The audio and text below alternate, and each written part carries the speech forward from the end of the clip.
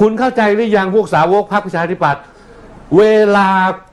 คุณว่าคนอื่นเนี่ย คุณไม่เคยดูตัวพวกคุณเองเลย ที่ผมรับพวกคุณไม่ได้ และจะไม่มีวันรับพวกคุณเป็นอันขาดถ้าคุณยังมีสันดาน สันดานเร็วๆแบบนี้ต่ออืมเมื่อไหร่คุณจะยอมรับสักทีว่าคุณเนี่ย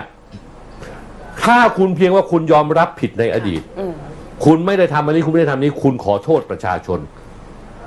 ขอให้โอกาสผมอีกครั้งหนึ่ง ผมจะให้โอกาสคุณ แต่ชีวิตพวกคุณไม่เคยผิด ชีวิตพวกคุณไม่เคยผิด คุณก็มาโวยวายทันทีอย่างงู้นอย่างงี้มาสาวกพัก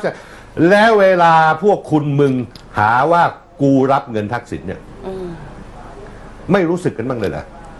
อแล้วมาใส่ความผมใส่ร้ายผม จนกระทั่งวันนี้ พอตัวเองโดนมั่งตัวเองมาโวยวาย และที่คุณเผาผมมาตลอดเวลา ผ่านทั้งในกรจติกวานิชพูดออกมาโทรศัพท์มาขอโทษผม ว่าพี่ไม่เอาอีกแล้วจบจบแล้วเรื่องแค่นี้ทำไมพวกคุณไม่คิดกันมั่งทำไมไม่คิดกันมั่งฮะ ไปไหนฮะ ไปไหนฮะฮะไอ้พวกแมงสาบไปไหน ไปไหน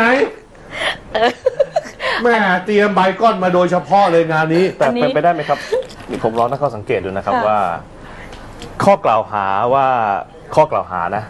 ข้อกล่าวหาว่าคุณสมธิรับเงินทักษิณเนี่ยเป็น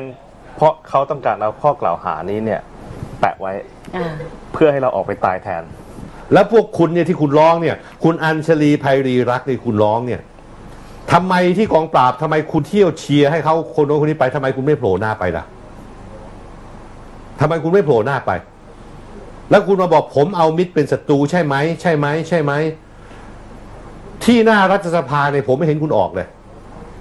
เห็นแต่พวกมือปืนรับจ้าง อย่างเช่นหมอตุลเนี่ยผมต้องเรียกหมอตุลว่ามือปืนรับจ้างใช่ไหมแล้วก็ที่เอาเสื้อสายล่อฟ้าให้เขาใส่ วันนี้ผมไม่ค่อยอยากคือผมรำคาญพวกพักสาวกพักประชาธิปัตย์คือมันโง่ได้ใจ โง่จนอธิบายไม่ถูก โง่ตรงไหนรู้ไหมโง่ตรงที่ว่า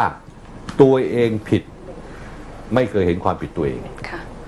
แล้วไปเที่ยวป้ายร้ายป้ายสีคนอื่นเขาและจริง ๆ นะ เติม นี่จริง ๆ นะ โดยพื้นฐานนะ นี่คือสันดานที่แท้จริงของพรรคประชาธิปัตย์